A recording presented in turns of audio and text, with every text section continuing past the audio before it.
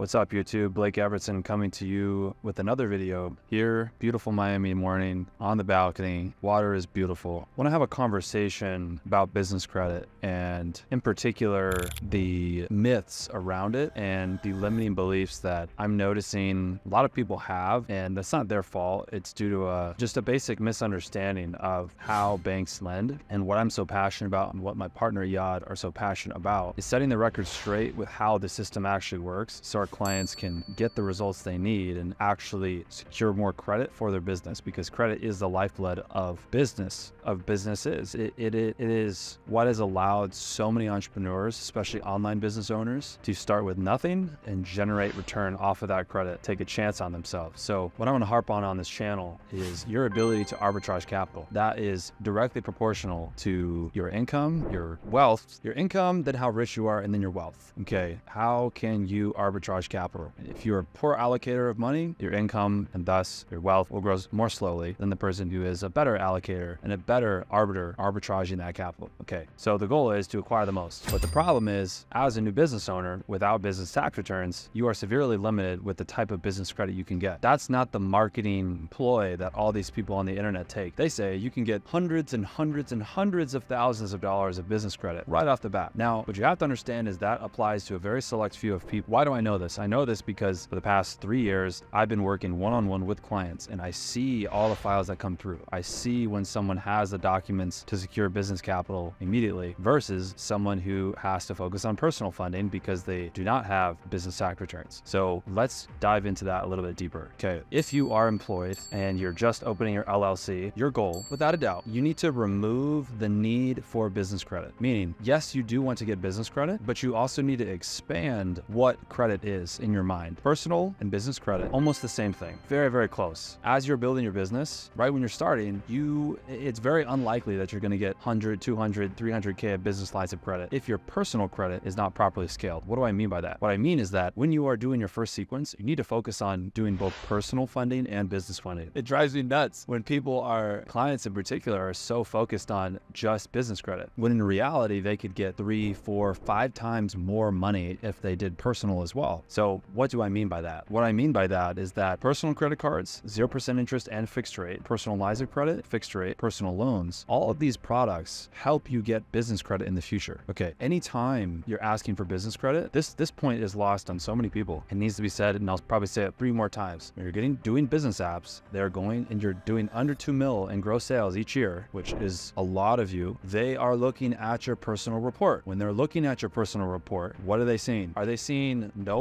credit cards, no lines of credit, no loans, no history, no credit mix? If they're not seeing any of that shit, you better temper your expectations for how much business credit you're going to get because comparable credit is how you get business credit. If you only focus on your business credit profile, you're going to miss out on your ability to open new businesses where you cannot borrow off that business credit profile. You're going to miss out on the opportunity to get large amounts of funding on the new business. What do I mean by that? As you build your business report and you want to open up a new business and get business credit under that, there's no business tax returns on that new business. There's no financials on that business. So the banker, the underwriter, the financial institution, what they need to do is they need to look at your personal report. They need to see how much money do you make personally? Give me some pay stubs, give me tax returns, schedule C if you're self-employed. What are how good are you as an allocator of capital? And what current limits do you have? Are they high? Are they low on your personal credit cards? If you have shit limits, they're going to give you shit business limits. So again, remove the need for only business credit. You need to get both. If you just focus on business, then anytime you want to open up a new LLC and your personal report's not optimized,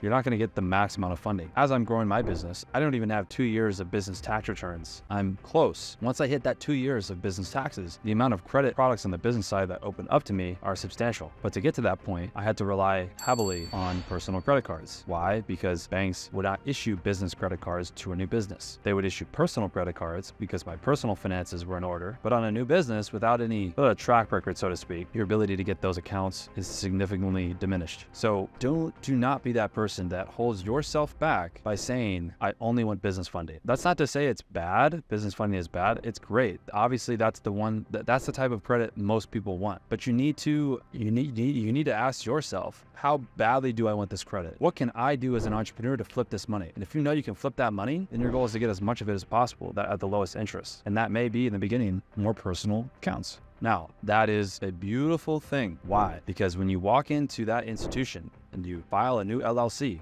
Are they going to see an average limit of 3K, 5K, or are they going to see an average limit of 25K, 40K, 50K? What are they going to see? If they see a higher average, they're going to give you more. That is a fact. And it's been proven because I've seen it time and time again. When clients come to me and their file, their personal file is fat, meaning it's thick, it's deep, it has many accounts over a long period of time, perfect payment history, and they're 800 plus, yeah, they're getting a lot of business credit. But when I have someone come to me and they're, the expectation is I want 300 grand of business credit or I want 200K of business credit and the personal file simply does not like support having limits that high high on the business side, I simply tell the client, look, we're going to have to change. First, I need to educate you on some things. It's not your fault you don't know them, but I need we need to first handle this before we can actually get into your round. I'm passionate about this stuff, guys, because I live it day in and day out with my clients, and it is a labor of love. But man, like school systems don't teach us this. Okay, the only way I learned was through trial and error on my own file, educational content like the one you're consuming here on YouTube for years. So I'm going through my own funding round here in uh,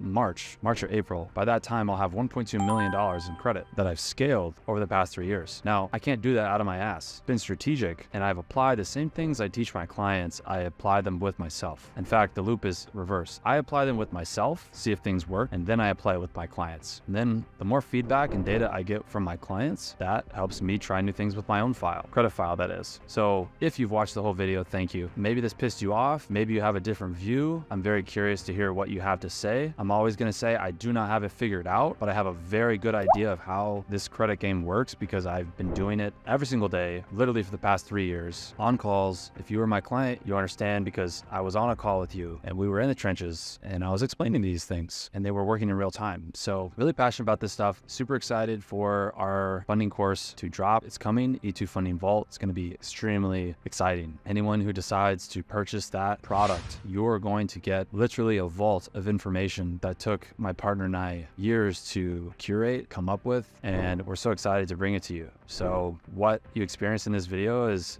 is, simply a taste. I'm not here to sell you on anything. I'm here to educate, and that's what this video was. If you're trying to get the most amount of credit, if you're trying to make the most amount of money, in order to do that, you need to expand your mind with what credit means. You have to be okay. You have to be okay with your utilization increasing. Yes, you're going to be in a little bit of debt if you're growing your business. That's normal.